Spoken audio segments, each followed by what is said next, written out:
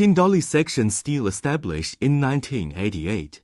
With a history of 30 years, the construction of the factory area includes a cold drawn heat treatment workshop, a silver bright steel workshop, a joint drawn workshop, and a research and development center.